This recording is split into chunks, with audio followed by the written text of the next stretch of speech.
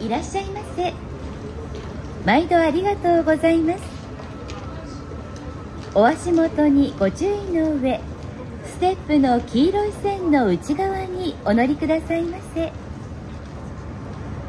ベルトにおつかまりくださいませ。お子様をお連れのお客様は手をおつなぎくださいましてステップの中央へお乗せくださいませ。